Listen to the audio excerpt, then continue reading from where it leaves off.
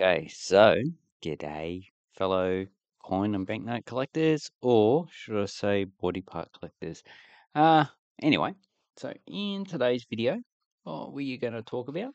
I like to hold the microphone like this, so we're going to talk about that how to hold a microphone. Actually, no. So, you want to go to another country. Either you're migrating there or you're just visiting. But it is important that you know the actual currency that you're going to use. I would say a majority of places I've been use coins and banknotes still. Uh, don't use card. You may use specific circumstances, but banknotes and coins are still well accepted, especially in Japan. Hong Kong, they like to use banknotes. $1,000 a bit harder to use. A lot of places don't accept it because of counterfeiting. Or in Australia, it's probably mostly card these days, but you can still use coins and banknotes. Uh, but cards, if you're going to use them, you're going to get charged a fee, exchange rate fee. So you, I would say for your spending priorities, you're probably better off just using coin and banknote. Then you know how much you're going to uh, use. So you want to use a currency. So we just say you're going to Argentina. Okay, so uh, here we're on Google. You can use whatever application you like. So um, we're going to look up um, the Argentine. So you need to know the name of the country. So Argentina. Uh, yeah, Argentina. So you don't know the currency. Obviously, because a lot of people watching my channel are banknote and coin collectors, they would know what the currency is. Okay, so we have the Argentine peso. So I know, based on my experience, that Argentinos used the peso since it decimalized its currency. So I we just go to Wikipedia and look up the actual currency. So we have a lot of information. Yeah, and that's my username of the currency. So this is in Spanish uh, because of VPN. Uh, but you can change it to different languages. And as you can see, it's got a lot of different. So it's got Macedonian, Bosnian. Uh, it's got Welsh. It's got Gallego, so Galician, Italian. That is Estonian. This is probably Ukrainian, Finnish. Uh, that is Armenian, Mingrelian, which is uh, Georgian, uh, close to Georgian. I think they live in the southwest corner. So you got a lot of different languages. So if you're not a native English speaker, you can probably find one. Or what you could do up on Google, that Google Translate, so you can uh, translate this into whatever language you want. Translate options. Okay. Choose another language. Then you can choose whatever language you want. So, Iwi Dongri. I don't know what Dongri is. Just remember, you, okay, it looks like it comes from India. South Asian language. Okay, but we want to see it's always in English because it knows that I use English as the first language. Okay, so just change it to whatever language you got. Okay, and it does a good, be good from Spanish to English because that's uh, pretty widely used on the internet. A lot of smaller languages, translation probably isn't that good. Okay, so and then we have the banknote. So it says it has the 10 peso. If you want to increase the screen. Okay. So we have the smallest denominator banknote, 10 peso. That's been changed. That was changed to coin in 2017, I think. Uh, and their highest banknote is 10,000 pesos. Then we've got coins of 1, 2, 5, and 10 pesos. And that says that it has uh, the 1 50 cent, but they haven't really been used for 10 years. And the inflation is quite low. So if we go to Uh, we will go to English So, And here we have frequently used, 125 pesos. They probably don't use it now. Um, you can also go to website and look at the inflation rate, June 2014, 274%. So obviously that's because the exchange rate is collapsing. And here we have the exchange rate over 1991. Uh, so since they've introduced the Argentine, the current Argentine peso, and as you can see here, it ended at 160, but it's up to 1,000 now. So here is the central bank website, English. Should be able to find uh, the exchange rate. Okay, that should be money in circulation. It's got inflation 4% for one month. Um, and year on year is 263. But the president, I think, is trying to fix that. Current exchange rate is 992 US dollars, so it's about 600 to Australian dollar. So, if you want to find out the exchange rate you're going to be paying for the currency, you don't use this. You can go down, should have an exchange rate somewhere. Okay. Usually these pages have exchange rates. Um, that this one doesn't have it. They must be starting to take them off. Should get some ding dongs that like to do that. Yeah, let's just try and look for it. Okay, no. Okay, so look for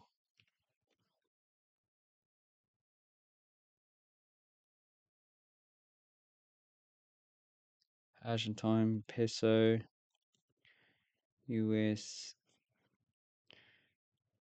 US dollar. So you've got an exchange rate. Okay, you can choose whichever one you like. Just go through them and see what's XC seems. I think that seems to be okay. I want one with a graph, long-term graph.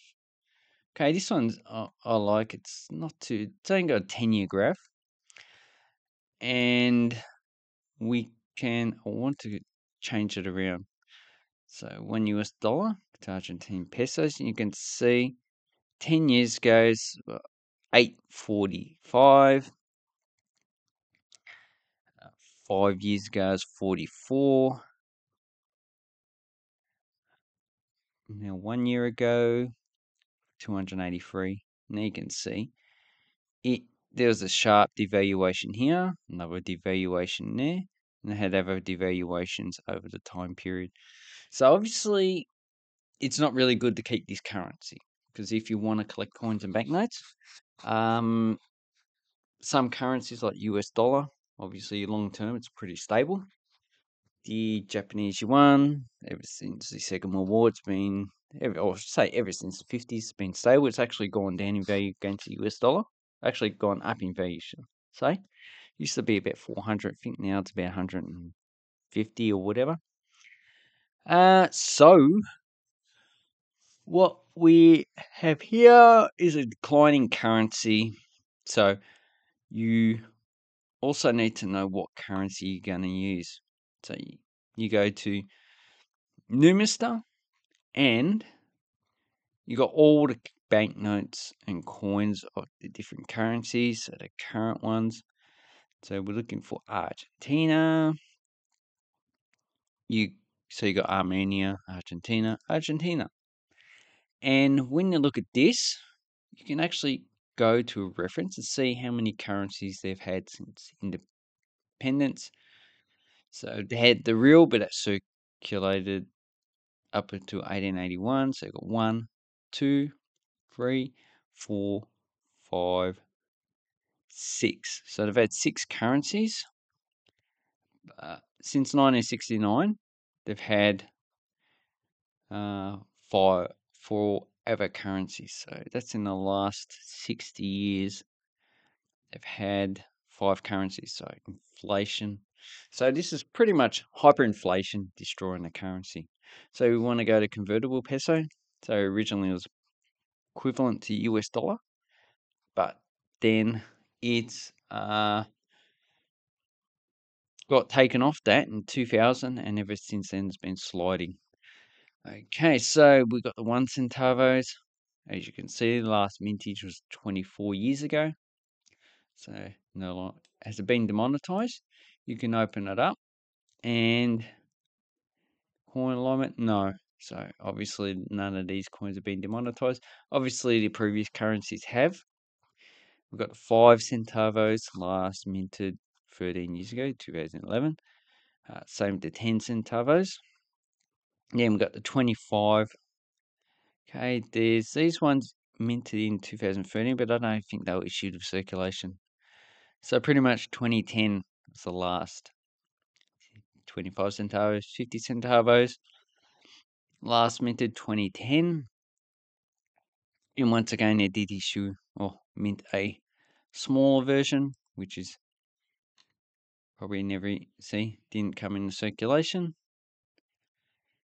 Uh, but then got the one peso minted in uh, 2016. Probably no longer in circulation because you can click on one, one peso. It's worth 0.2%. So you need five of them to equal one US Australian cent. Obviously, this is in Australian dollars. I'm not going to change it for this video because it's too much trouble. Then we have the one peso issue from 2017, 2020, pretty poor quality. Uh, so even you know impoverished country, you're probably not going to use that. And then you got the two.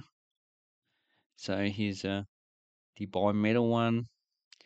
Here is the base metal 2018.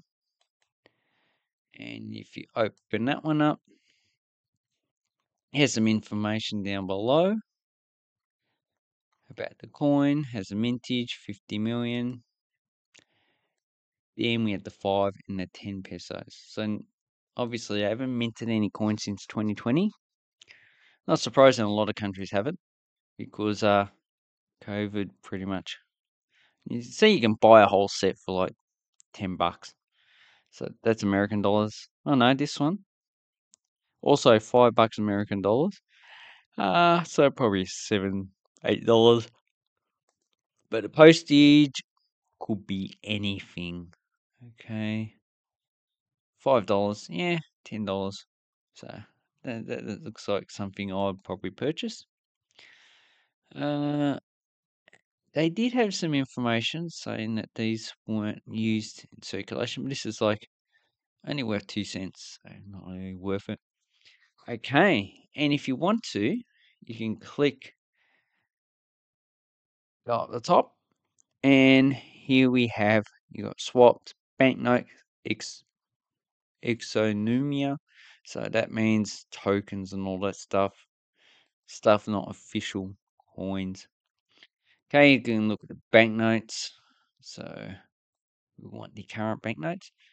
So you got the one peso, two, uh, obviously 2014, then changed to a coin. And then we had the five, 2015, the 10 pesos. This one was issued by a state. So in Argentina, states are allowed to issue banknotes as well. But obviously they need to be backed up by currency. Okay, then we got the 20 pesos. So that's the first one. And the current 20 pesos is this banknote here, which is the nicest banknote that, one of the nicest that they've issued. Uh, so this is worth three cents. So this is pretty much one you'll be using in circulation. So it's actually quite nice. That's a guanaco. So it's like an alpaca or llama. On the back we have a map of Argentina, coat of arms. Obviously the paper quality is not that good. Okay. And you can go down, you can go see the banknotes. So any of these you could get in your change, but more than likely you're just going to get the last ones. So the current 20 and 50, they're all horizontal on this side instead of vertical. Uh, so there's the 100, then there's the 200 pesos, 500, 1000. Obviously, the 1000 pesos has been changed now. So this is the current one with, I think it's Simon Bolivar. But we will find out. That is, oh, San Martin. So not Simon Bolivar. So this is worth $1.50. So this banknote you'll probably be getting. And I'll only collect these if they are pretty much uncirculated. And even then, they're just going to be common. So really, $1.50. Even uncirculated when you'll be paying it. So I don't mind that. But and as you can see, you got 2,000 pesos. You've got two different varieties. You can look that up yourself. Highest banknote is the 1,000 pesos issued this year, equivalent to $16. But as the inflation is going to go up, I wouldn't be forking out $16 for a banknote like that. I will be waiting to this currency becomes worthless. And then probably picking it up for two two dollars or so. So with Argentina, you would get familiar with these currencies. So familiar familiarize yourself with these currencies before you go so you know what you're going to use. So this one's a pretty bland. Uh, but I actually quite like it. Nice green. Has two people on it. Has their names here. Manuel Belgrano, Mario Ramos de Vélez, and has uh yeah, I think that's the War of Independence, 1812. Okay, so that is basically how you get to know a currency. And, you know, you can actually go back to banknotes because more than likely, most countries you're going to come across banknotes. Okay, just say you're going to Indonesia. You pretty much don't want the current currencies. Um, I mean, previous currencies. So these are just collector's items. You probably might see them for sale somewhere in markets or whatever. But with Indonesia, the current lowest banknote is 1,000 rupiah. So you got 500. And then you got the 1,000 rupees. So some of this information on them is correct, some is not. Okay, so this, these are demonetized.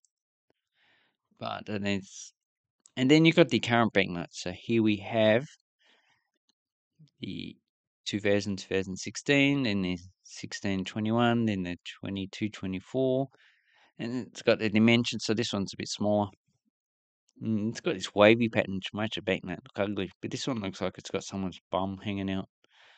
So that's probably why they changed that. Uh, so this doesn't really look nice. If this was also, it's a bit wavy, but if it was the same pattern, it would actually look a lot nicer. And same with this side. Yeah, but they're not too bad. They're not too good either. And her portrait looks better than in those ones. So these are Indonesian banknotes. So and they also use currencies as well. So you can go up and go to coins as well. And the Indonesian coins for Australians is pretty common because a lot of Australians do go to Indonesia. So you got the old coins you might see on markets, and you also got these older ones. So you can buy a set of these in Australia for like ten dollars. Not really worth that much. Uh, and then you got older ones. So the smallest banknote they currently have is 100 rupiah. So these are probably the two that you're going to find, the aluminium ones. These are in circulation. Then you got the 200 rupiah. Then you have the 500, so the large aluminium coin. And then you have the 1000 rupiah, which is a nickel plated steel. So you got a 1000 rupiah banknote and coin. So basically, this is how you familiarize yourself with uh, currencies and banknotes. So you just look up, I don't know, just look up uh, Argentine banknotes.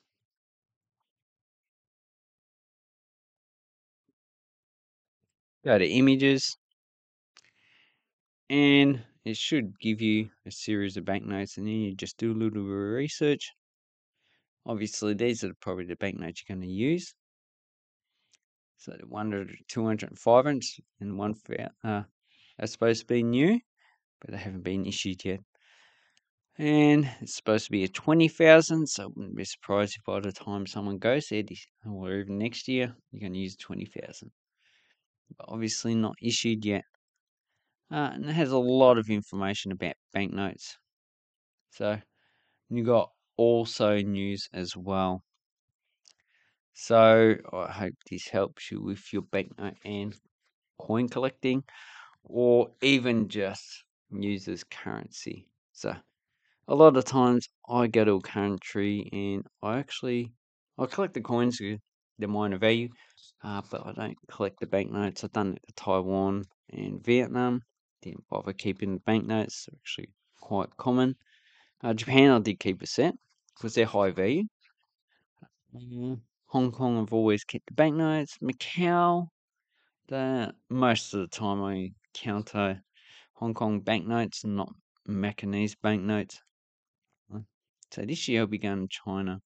Hopefully, I've got the new 10 yuan, but I would like to get the new Chinese banknotes and also the new coins, which should start to becoming common. But in China, it's all pretty much all the rage today in China is uh, uh, electronic payments. I think that's been uh, put forward by the government actually for control purposes of the population.